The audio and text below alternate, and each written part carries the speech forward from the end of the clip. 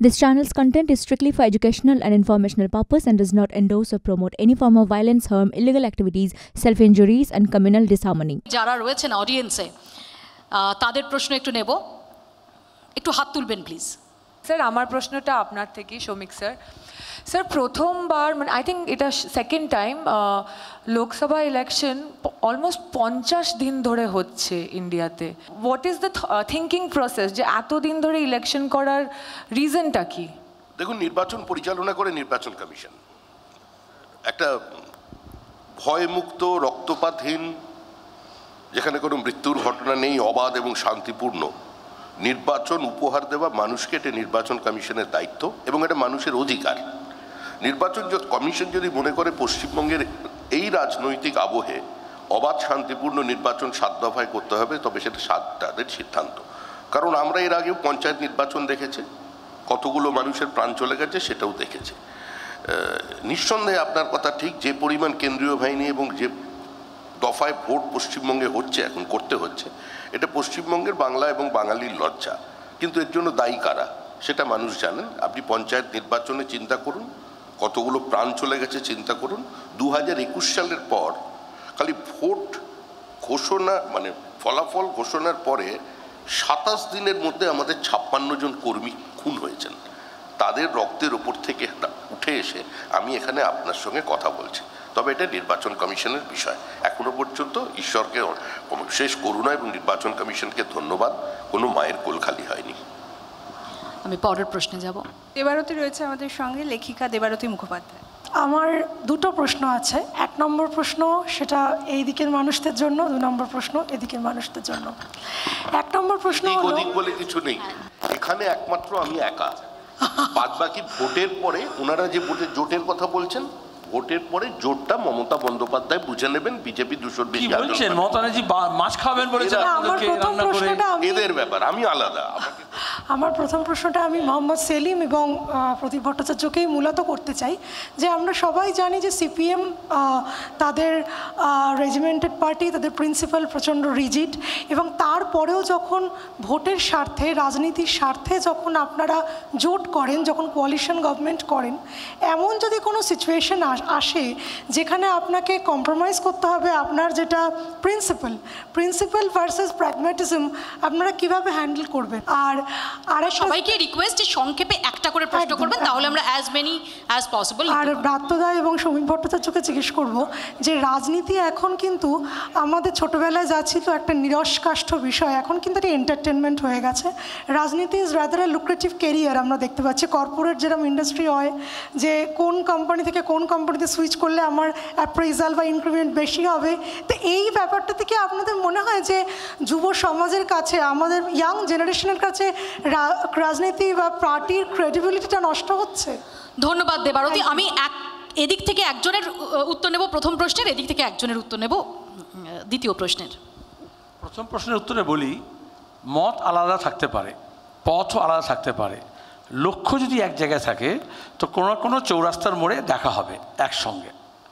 দুই কংগ্রেস এবং বামপন্থীদের মধ্যে বিরোধ প্রথম থেকে, স্বাধীনতার সময় থেকে। কিন্তু ব্রিটিশ সাম্রাজ্যবাদের বিরুদ্ধে লড়াই, স্বাধীনতা অঞ্চল, এটা ছিল একমত। সেজন্য অহিংস পথে হবে না, সহিংস পথে হবে এই নিয়ে ঝগড়া ছিল। মারামারি ছিল না, খুনোখুনি ছিল না, নীতির লড়াই ছিল। কিন্তু লক্ষ্যটা এক ছিল বলে স্বাধীনতা লড়াইয়ে আমরা একসঙ্গে হয়েছি। আর যারা স্বাধীনতা বিরোধিতা করেছে, ইংরেজি গোলামি করেছে, তারা কখনোই যুক্ত হয়নি। এটা যখন ইন্ডিয়া ব্লক তৈরি হয়, তখন কেউ কেউ বলেছিল কে নেতা হবে, কেউ কেউ বলেছিল জাতীয় স্তরে ভাগ করে দাও। যে জন্য নসাদ বলল যে আমরা থাকব না। তো আমরা বলেছিলাম এটা নেতা ঠিক হবে না, আর এখান থেকে জাতীয় স্তরে কোনো আসন সমঝোতা হবে না।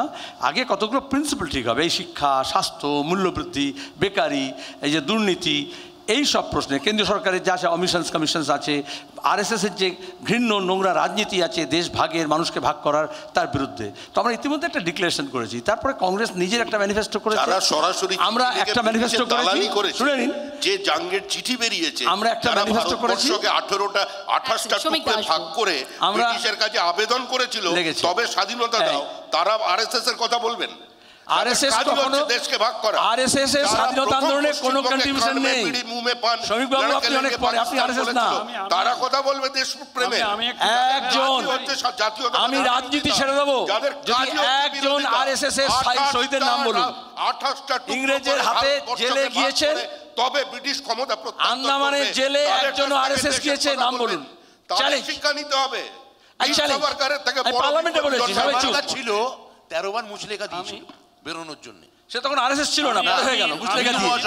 আমি যার আপনি নাম করছেন তিনি আরএসএস মিনিট এর কেউ ছিলেন না আপনি তাকে বীর বলেন কিন্তু সবচেয়ে বড় কাপুরুষ। থেকে আপনার থেকে সে বড় জাতীয়তাবাদী আমি এক মিনিট টাইম নেব শুধু এক মিনিট আমার কথা কমপ্লিট হয়নি সাভারকার RSS এর যেই মিনিট। টাইম নেব শুধু এক এক এক করে না, আমার কথা কমপ্লিট হোক। আপনি বলেছেন আমাকে যে এক মিনিট time সদস্য। আমার আনসার আপনি কমপ্লিট তো হোক। কম বিপ্লবীদের ধরানোর ইতিহাস আছে আমি যে এই শিক্ষা এবং স্বাস্থ্যের কথা বলেছি উনি আরএসএস বলতে আরম্ভ করে দিলেন কেন বলবেন মানবো কেন? কোনো পজিটিভ এজেন্ডায় ওরা ভোট করতে চাইছে না। প্রশ্ন ছিল শিক্ষা এবং স্বাস্থ্য নিয়ে কি করবেন? মতের মিল হলে যেই শিক্ষা স্বাস্থ্য নিয়ে চলে গেলেন। যেই শিক্ষা স্বাস্থ্য বলব ওনার রাগ হয়ে না, যাচ্ছে সংক্ষেপে। কারণ ওরা ধ্বংস করতে চাইছে। জাতীয়। শিক্ষানীতির নামে বিজেপি বলেছে সরকার উনিশশো দু হাজার আরে পরে দু মাসের পরে কোনো কোনো শিক্ষা প্রতিষ্ঠান থাকবে না সরকারি দু খরচায় যাতে মানুষ আচ্ছা শিক্ষিত না হয়। বাম এবং কংগ্রেস একসঙ্গে এই জন্যই যে আমরা এই শিক্ষা ব্যবস্থা গড়ে তুলেছি ব্রাত্যবাবুরা শিক্ষা ধ্বংস করল শিক্ষক নিয়োগে দুর্নীতি করল আমরা জাতীয় শিক্ষানীতির বিরুদ্ধে এবং শিক্ষা এবং স্বাস্থ্য ব্যবস্থাকে আবার ঢেলে আসব। মমতা বন্দ্যোপাধ্যায় ভবিষ্যতের প্রধানমন্ত্রী তিনি হবেন জোটের মুখ আর মোহাম্মদ সেলিম হবেন শিক্ষামন্ত্রী। জোট তো আমরা দেখবই সামনে অপেক্ষা করুন দরকার আপনারা পাশাপাশি বসেছেন কেন সব বলছেন? মমতা ব্যানার্জি আগে বাজপেয়ীর সঙ্গে আদবানির সঙ্গে মন্ত্রীতে ছিলেন। বামপন্থী ছিলেন। না। ছিলেন তো। আমরা প্রসঙ্গান্তরে যাব না এক সেকেন্ড খুব মুসলিম লীগের সরকার এক উত্তরটা দিন। হ্যাঁ মমতা ব্যানার্জি- মমতা ব্যানার্জি হতো না। মুসলিম সেকেন্ড কিছু লীগের বলতে সঙ্গে সরকার মমতা ব্যানার্জি, মমতা ব্যানার্জি হতো না। একটু বিরত করছি। শ্রমিকদা একটু বিরত করছি। মমতা ব্যানার্জি মমতা ব্যানার্জি হতো না যদি আরএসএস এর গোয়ালে না Please, আমরা প্রদীপদা এক মিনিট কিছু বলতে চান প্রদীপ আহ, শুধু একটি ঘটনা সংক্ষেপে আপনাদের কাছে অত্যন্ত সংক্ষিপ্ত আকারে বলছি। যখন উল্লাসকর পাগল হয়ে গিয়েছিলেন আন্দামানের জেলে।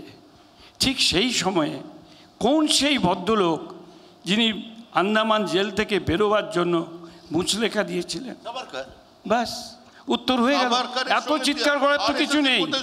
এত চিৎকারের তো কিছু নেই। কথাটা দাঁড়িয়ে এই উত্তর তো হয়েই গেল। শরদ পাওয়ারকে যখন পাগল। আপনি বলুন এই যিনি- কথাটা শরদ পাওয়ারকে চিৎকার করে লাভ নেই, ঘটনা। আপনার ঘটনা তো। কিন্তু তিনি আমার। কে?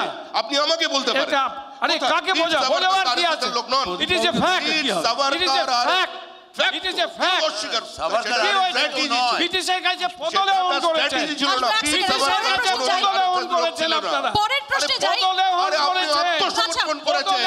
আত্মসমর্পণ করেছেন। দেশ ভাগ করেছে কংগ্রেস।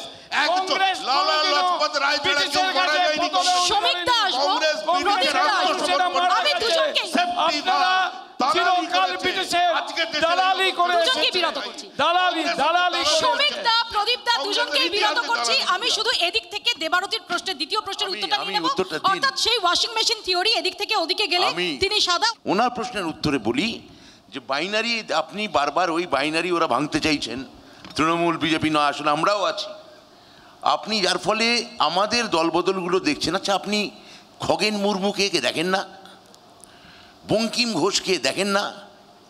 তাপসী মণ্ডলকে দেখেন না নরহরি মাহাতোকে দেখেন না all CPM or left went to BJP সমস্ত লেফট বিজেপিতে গিয়ে জয়েন করেছে। পাল পাল পাল পাল গেছে পাল পাল গেছে। কিন্তু ওয়ান ওয়ে হ্যাঁ? ওয়ান ওয়ে ওয়ান ওয়ে না আরে ওয়ান ওয়ে মানে?